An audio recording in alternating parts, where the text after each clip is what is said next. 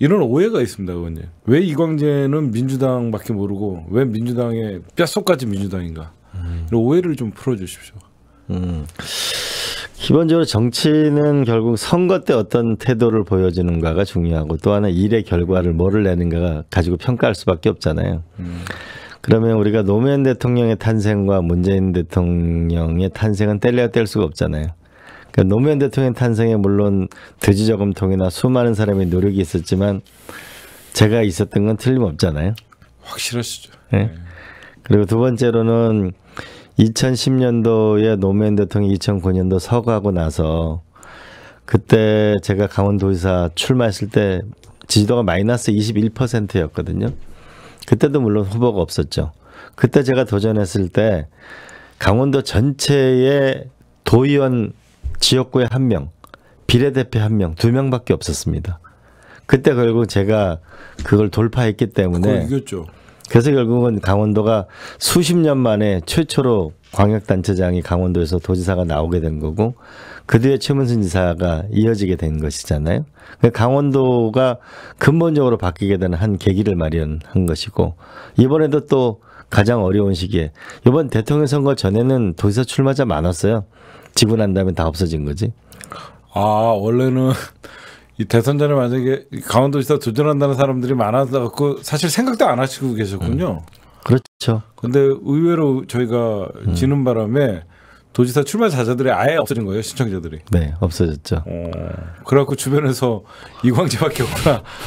어. 음, 그렇게 된 거고요. 또 두 번째는 제가 아마 수박이다 이런 뭐 여시제부터 음. 뭐 삼성 장학생 음, 뭐 이런 수식어가 따라 다녔어요. 그 여시제는 기본적으로 그 이쪽에 여야가 섞여 있는 싱크탱크라고 보시면 될 것 같고요. 남북 통일 평화. 왜냐면 늘 통일에 방해하는 세력들을 좀 끌어들이려고 했던 거는 저는 알고 음, 있습니다. 주로 이제 그 미국, 중국, 일본, 러시아의 그 관계 거기서의 갈등을 뚫고 어떻게 하면은 우리가 음. 남북의 평화와 번영을 이룰 거냐, 통일로 나갈 거냐 이걸 주로 연구하는 것이고요. 그 삼성 장학생은 제가 노무현 대통령이 당선됐을 때 앞으로 그때 IMF 후이기 때문에 경제연구소들한테 내가 다, 다 받았거든요. 앞으로 그 새로운 정부에 도대체 그 어떤 정책을 쓸 거냐라고 해서 그 보고서를 받아서 제가 돌린 거거든요. 음. 근데 그 중에 채택된 것도 있고 거부된 것도 있고 네, 네. 그게 이제 시작이었는데 네. 제가 왜 수박이라고 비난을 받을까라고 이제 생각을 해봤는데 그 제가 주로 이제 많은 메시지를 내 우리가 개혁적 과제 부분이고 민생 과제가 있잖아요. 근데 네. 제가 주로 얘기하는 게 주로 민생 과제가 많아요. 그렇다고 제가 뭐냐면 수사권과 뭐 검찰의 개혁 이걸 반대하는 건 아니잖아요. 근데 왜 그랬을까라고 이제 생각을 해보면 제가 학생 운동을 열심히 우리 전두환 정권을 이제 결국은 타도하기 위해서 노력을 하는 감옥을 가는 과정에서도 제가 이제 어, 동대문 창신동에서 야학 교사 생활을 했거든요. 어, 예.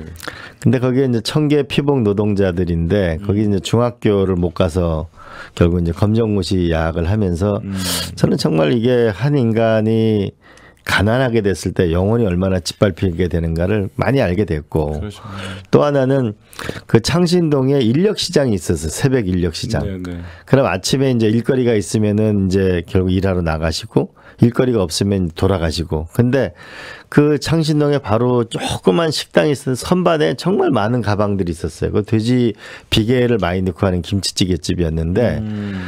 거기를 가보니까 가방이 많이 있어요. 도대체 이 가방이 뭘까라고 보니까 양복을 입고 나왔다가 막노동하러 나갈 때는 그 야, 그걸 그 두고 가고 돌아올 때는 탈의실 개념이 그렇죠. 그 저는 그걸 보면서 그 아버지의 이름으로 막노동을 하러 나오는 사람들이 그 옷을 갈아입는 그걸 보면서 인간에게 있어서 이 일과 소득이라는 거, 그 다음에 교육의 기회를 준다는 게 얼마나 인간에게 소중한 것인가. 음.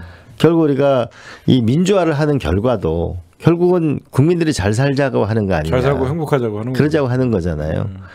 그러면서 저는 이 문제에 대해서 우리가 좀 더 본질적으로 우리가 결국은 국가가 잘 살면 국민도 잘 살아야 되는데 그 문제를 제가 훨씬 더 천착하는 편이었어요.